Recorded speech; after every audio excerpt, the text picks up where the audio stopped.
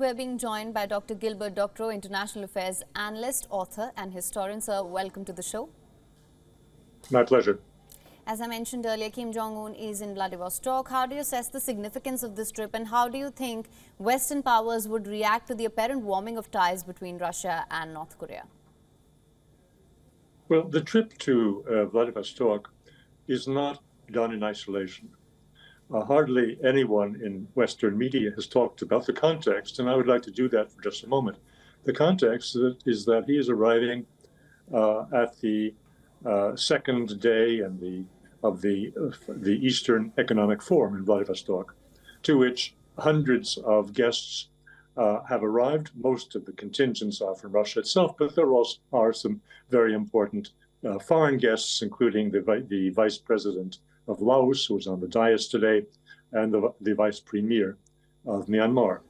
The point is that the Russian government is there in strength. Therefore, the meeting between uh, Kim and Putin is more than a meeting of two leaders.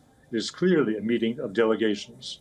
The Russians have in Vladivostok, for the purposes of the ongoing forum, a very large team of uh, ministers uh, responsible for fields that will be necessarily part of the discussion. And I don't mean the, just the minister of uh, the Ministry of, of, of uh, Defense.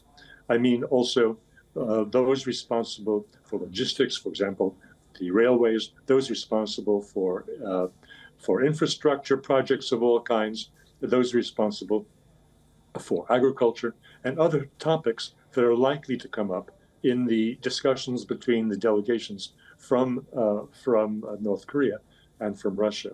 So the context is one set for very for a comprehensive um, discussion of North Korean Russian relations, not narrowly focused on one subject, uh, what who's going to buy what in military hardware.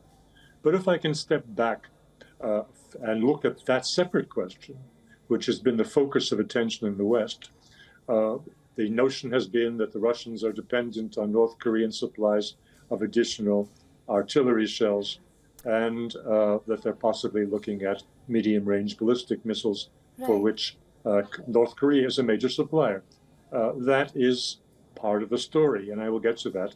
But I think it's all being put on the wrong background.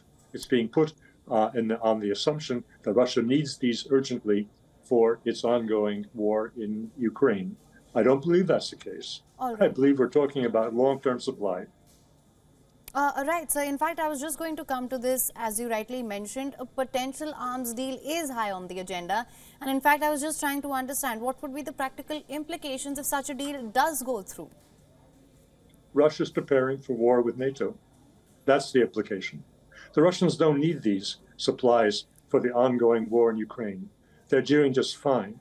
However, upon concluding agreements with North Korea on these medium range ballistic missiles, for which North Korea is said to have among the most advanced equipment in the world, and on agreeing for uh, supply of artillery shells, the Russians will be better positioned to pursue a major offensive against Ukraine in coming months. What do I mean?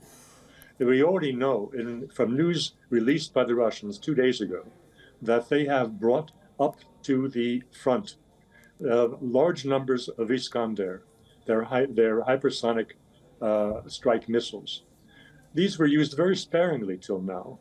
And the reason is that Russia, uh, unlike NATO, has been careful to prepare for a follow-on, uh, follow-on uh, expansion of this war to um, beyond the frontiers of Ukraine to a NATO-Russia war. Western Europe has uh, has um, given to Ukraine a vast amount of what armaments they had in storage, and frankly speaking, has demilitarized itself voluntarily. The Russians have not done that. They've been very sparing in application of their most advanced equipment, whether it be these Iskander hypersonic missiles or their latest T 90 most right. advanced tanks. And the Russians are, are going to buy from North Korea what they need for the future, not what they need for the present. Right. Absolutely. Uh, so now, in fact, this comes at a time when both nations are extremely isolated on the in the global realm, uh, in the international realm, of course. What do Russia and North Korea stand to gain from this meet and a potential arms deal? You've explained that Russia is preparing for war with NATO. What would you say North Korea stands to gain? Well, let's put this again in a, a review who needs whom. It's widely assumed that Russian Chinese relations, uh, Russia is the junior par partner and China is the, uh, the senior partner. That's erroneous. They both need one another very much for slightly different reasons for, uh, for uh, I won't go into that. But with North Korea, the same question comes up. Who needs whom more? They both need one another. Russia has uh, military technologies which the North Koreans want. These include uh, technologies in submarine warfare, in electronic warfare, and it is conceivable that the Russians will share some of this. They also have um, have uh, uh, airplane jet fighter technologies, which could be very interesting to the North Koreans. So North Koreans stand a lot to gain in the military sphere if they establish a proper trading relationship with Russia.